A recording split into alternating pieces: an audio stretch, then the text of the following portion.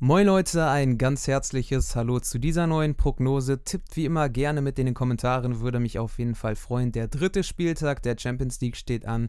Diesmal habe ich es zeitlich geschafft, alle vier Spiele zu prognostizieren. Sind nicht alle sonderlich lang geworden, die Prognosen, aber es sind alle Spiele dabei. Los geht's mit Paris gegen Leipzig. Viel Spaß! Dass es für Leipzig in dieser Gruppe nicht leicht werden würde, das war von Anfang an klar, aber 0 Punkte nach zwei Spielen und die Niederlage gegen Brügge, das macht nicht gerade Hoffnung hier für das Spiel in Paris. Und die Gastgeber, sie legten auch gut los, Mbappé, Messi, bleibt aber vor Goulaschi ungewohnt zittrig am Fuß, hält einfach drauf und trifft dann nicht. Auf der anderen Seite machte es Konrad Leimer besser. Erste Chance Erstes Tor, 22. Minute, das 0 zu 1 aus dem Nichts. Das konnte aber Jesse Marsch mal vollkommen egal sein. Und Leipzig hatte jetzt irgendwie einen Schalter gefunden zum Umlegen. 0 zu 2. Soboschlei, Traumtor. Aus Spitzenwinkel und das Dach gefeuert. Jeder Schuss ein Treffer. PSG nun wieder mit mentalen Problemen. Das sah man hier und so konnte das passieren. 44. Minute 0 zu 3. Christopher Hinkunku. Halbzeitstand 0-3. Es war wirklich nicht zu glauben, vor allem nachdem Paris eigentlich deutlich besser angefangen hatte. Stichwort Mentalität. Soboschlei hatte so viel Selbstvertrauen, dass er den Ball einfach nochmal reinhämmert. Donnarumma konnte einem leid tun. Der hatte eigentlich nichts zu halten. Entschieden war diese Partie allerspätestens mit dem 0 zu 4. Paris wollte noch Schadensbegrenzung betreiben.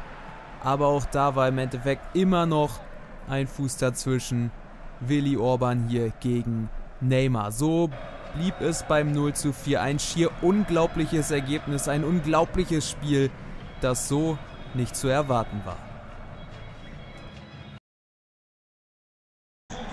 Ajax Amsterdam hat wirklich bislang einen positiven Eindruck hinterlassen in der Gruppe, in der der BVB ebenfalls als haushoher Favorit weiterkommen möchte, weiterkommen muss und dass diese Geschichte mit Daniel Mahlen, der in der Jugend bei Ajax lange gespielt hat, so losgeht, das passte auch gut zu diesem Abend. 0 zu 1, also früh in der Partie. Daniel Mahlen hatte noch lange nicht genug. 0 zu 2, 15. Minute. Eiskalte Dusche für die Niederländer, die im heimischen Stadion eigentlich doch so gut drauf waren. Auf der anderen Seite dann mal die Möglichkeit zum Anschlusstreffer. Berghuis.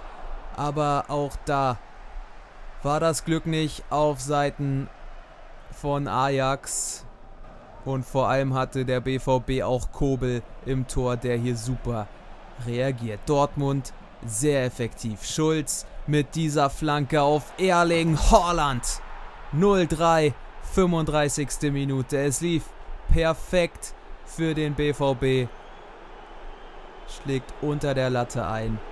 Ging somit auch in die Pause. Das war schon ein ziemlich heftiges Zwischenergebnis.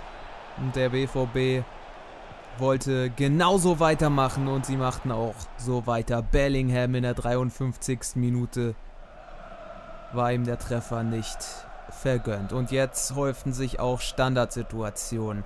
Marco Reus von der rechten Seite und in der Mitte ein unglückliches Eigentor.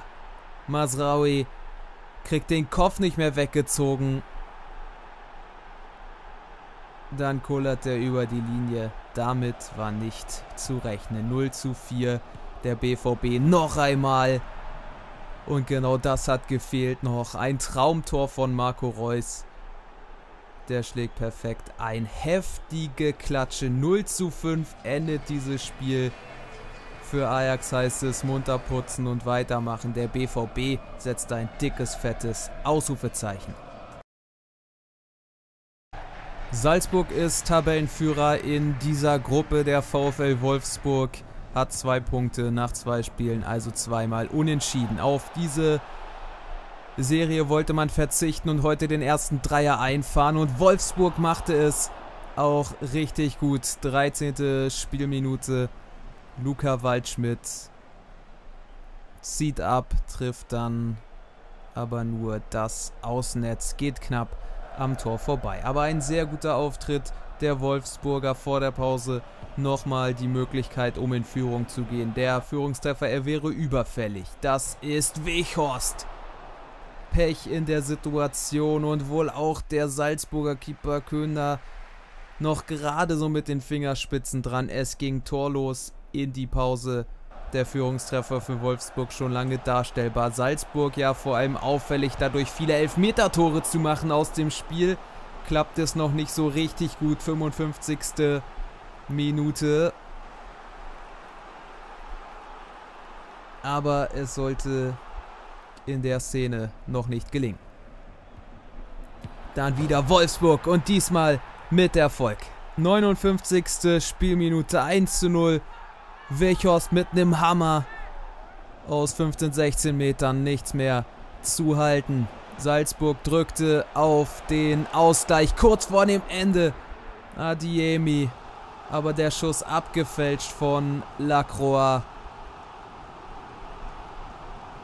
Den Salzburgern war der Ausgleich nicht mehr vergönnt. Wolfsburg sichert sich also den ersten Sieg in der Gruppe, holt sich nach drei Spielen fünf Punkte ab und überholt damit Salzburg auch in der Gesamtwertung. Der FC Bayern ist sicherlich der klare Favorit, aber was Benfica Lissabon mit Barcelona angestellt hatte, das konnte schon Eindruck wecken. Und auch die Bayern waren dementsprechend gewarnt. Sie spielten konzentriert und in der 28. Minute haute Leroy Sané mal so einen raus springt noch minimal auf. Dann trifft er ihn perfekt. Der schlägt unhaltbar ein. Die Bayern hatten den ersten Durchgang komplett in der Hand. Lewandowski kommt nicht durch. Goretzka mit dem Nachschuss. Führt hier allerdings nichts. Zum Glück geht doch relativ deutlich vorbei. Benfica konnte nach vorne nicht sonderlich viel zustande bringen. Dementsprechend war das Halbzeitergebnis von 0 zu 1 vollkommen in Ordnung. Der zweite Durchgang sollte dann die Wende für die Portugiesen bringen. Etwas mehr als 5 Minuten gespielt. Rafa. Und das war vielleicht dieses Erlebnis, das Benfica Lissabon im heimischen Stadion zum Aufwachen brachte. Glanzparade von Neuer, der wäre im Winkel eingeschlagen. Und jetzt kam Benfica. 72. Minute. Roman Eremczuk mit dem Ausgleich. Verdient in der zweiten Halbzeit. Bayern zog sich zu weit zurück, investierte nicht mehr viel und konnte den Schalter nicht mehr umlegen. Und so passierte es. Davi Nunes in der 85. Minute 2-1. Benfica Lissabon, da kann sich Neuer strecken, wie er will. Da kommt er nicht ran. Spiel gedreht. Nun war Bayern nochmal gefordert. Sané. Lewandowski. Goretzka kommt nicht durch, aber er setzt nach und haut ihn rein. Setzt ihn unter das Dach in der 91. Spielminute. Und sichert Bayern den ganz späten Punkt. Der unter dem Strich fast sogar etwas schmeichelhafter herkommt. Benfica Lissabon wieder sehr respektabel geschlagen. Am Ende ist es ein Punkt, der die Bayern mehr befriedigen dürfte. Jo, das soll es dann mit dieser Prognose auch wieder gewesen sein. Lasst doch gerne einen Daumen nach oben und ein Abo da, wenn es euch gefallen hat. Würde mich auf jeden Fall freuen. Ansonsten vielen Dank fürs Zuschauen. Bis zum nächsten Mal. Haut rein und adios.